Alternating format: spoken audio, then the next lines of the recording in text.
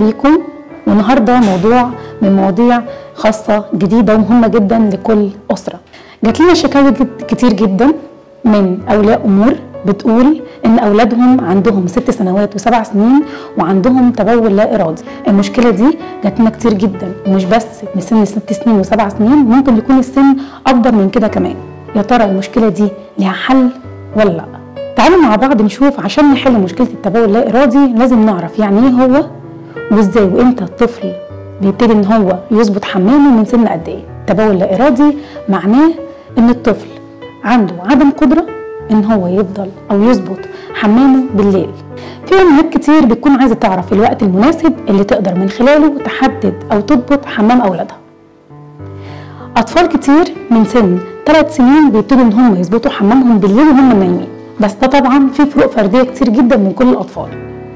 في أطفال بتقدر تضبط حمامها في الوقت ده وده بالنسبة لهم حاجة عادية أو حاجة طبيعي إن هم يعملوها مش لازم كل الأطفال يعملوها في السن ده. لكن لما يكون الأمر يوصل لحد ست سنين ولسه الولد بيتبول لا إرادي ليلا بشكل مستمر يبقى هنا مشكلة.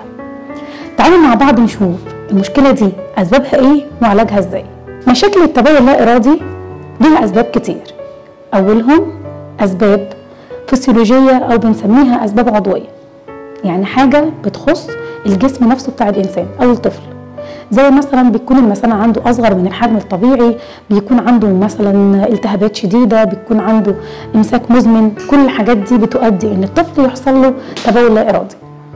في أسباب تانية ممكن برضو تؤدي لنفس المشكلة اللي هي بنقول عليها أسباب وراثية.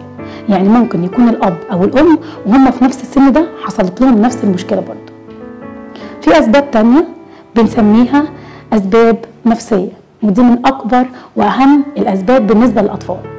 يعني مثلا الأم تكون لسه جابت بيبي جديد فالطفل بيغير فيبتدي إن هو تحصل له انتكاسة تاني فيتبول لا إرادي. المعاملة الوالدية السيئة ممكن برضه تؤدي لنفس الموضوع. عدم الاستقرار بيؤدي لنفس الموضوع.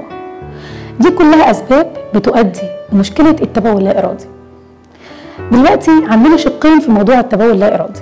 المشكلة الأولانية أو الشق الأولاني حاجة إحنا بنجربها في البيت عشان نقدر نعالج بيها أولادنا. والحاجة الثانية إذا إحنا عملنا كل الحاجات دي يبقى نوصل للشق الثاني اللي هو الشق الطبي ونرجع للدكاترة. تعالوا أول حاجة نعرف مع بعض إيه هي العلاج أو الطرق العلاجية اللي ينفع نجربها مع أولادنا.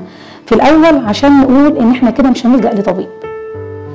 أول حاجة مطلوب مننا إن الأم قبل ما الطفل ينام بساعتين لازم يدخل التواليت ويفضي المثانه مرة كمان هيدخل قبل ما ينام مباشرة. الحاجة الثالثه إن هيدخل التواليت هنصحيه بعد ما ينام بالظبط بساعة أو يكون في range الساعة لأن المية بتاعت الجسم كل السوائل بتتجمع في خلال المدة دي. وفي حاجة مهمة جدا وإحنا بندرب الطفل على النقطة دي لازم نعمل جنبه جرس. فاكرين منبه زمان اللي بيقعد يصحي الناس كلها هو ده.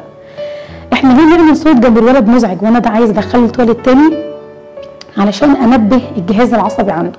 لأن المفروض أنا دلوقتي اللي بصحيه المفروض بعد مرة اتنين تلاتة أسبوع أسبوعين بالكتير الولد تلقائي أول ما المساله تتملي يبتدي إن هو يحصل له الجهاز العصبي بتاعه يشتغل على طول فيقوم من النوم مفزوع عشان يدخل التواليت. في بعض الأكلات اللي ممكن أولادنا يستخدموها قبل النوم بساعتين وهي أصلا بتكون بتعمل لهم كده. زي إيه؟ زي مثلا المواد اللي فيها مادة الكافيين. دي موجودة في المشروبات الغازية وموجودة في الشاي وكمان موجودة في الشوكليت والمواد اللي فيها سكريات عالية. يبقى الحاجات دي كلها ممنوع إن إحنا نديها لأولادنا قبل ما يكمل أو قبل ما ينام بساعتين. النوم في الوقت المناسب ما ينفعش إن الولد يسهر فترات طويلة لأن بكده الولد لما هينام هيدخل ينام هينام نوم عميق. وبكده مش هيقدر يصحى أو مش هيقدر يحفز المثانه بتاعته أو إن هو يحفز الجهاز العصبي عشان يقوم يدخل لوحده. دي كلها الحاجات اللي إحنا المفروض نعملها في البيت عشان تكون مبدئيا نعالج بيهم اولادنا في عندنا نقوص خطر لازم نخلي بالنا منه. لو أنا دربت ابني من أسبوعين هنفترض نقول مثلا لحد شهر. ضربته على نفس الجدول وعملنا جدول في الأوضة بتاعتنا وبقى كل مرة الولد يخش فيها التواليت إن إحنا نعلم صح ونعلم غلط ونكافئ ونعمل حاجات زي كده كتير. لو هفترض إن أنا الولد عملت معاه العلاج ده كله وما جابش نتيجة وإن كمان مش بس الولد بيعمل تبول لا ارادي ليلي بس لأ ده الموضوع كمان بقى الصبح. يبقى أنا كده عندي مشكلة كبيرة لازم أتوجه بيها للدكتور إيه المشكلة اللي ممكن تكون عند الطفل؟ إن الولد ممكن لما يخش أو إن هو يوديه مثلا عند طبيب بيعملوا طبعا طبيب مسالك بوليه فبيعمل له إشاعات في عندهم فقرات ظهر ممكن تكون عندهم مشكلة فيها لسه ما اكتملتش. فالعلاج بالنسبة لنا بيكون بسيط بس لازم نحل الموضوع ده بسرعة. وفي أسرع وقت عشان الولد حالته النفسية ما تتدهورش. من الحاجات السيئة اللي بتعملها الأم إن هي بتبالغ في عقاب الطفل إن هي تقول للناس كلها إن الولد بيعمل توالت على نفسه. ده طبعا ما ينفعش إن هو يتقال لازم نحافظ على مشاعر الطفل ونحافظ على كرامته. ونفهمه إن دي حاجة ما ينفعش حد يعرفها لحد ما نتعالج. دي نقط مهمة جدا. يبقى إحنا لازم نحافظ على نفسية ولادنا نحافظ عليهم من الغيره نحاول إن إحنا نعامل أولادنا كلهم معاملة واحدة مفيش حاجة اسمها إن ده طفل صغير وده طفل كبير لازم نساوي بين كل الأطفال وتكون المعاملة بينا واحدة لازم يكون في إشباع عاطفي لكل طفل في البيت. وده كان موضوع حلقتنا النهارده. وان شاء الله انتظرونا في مواضيع تانية جديدة في برنامج أنا وطفلي مع صباح رمضان.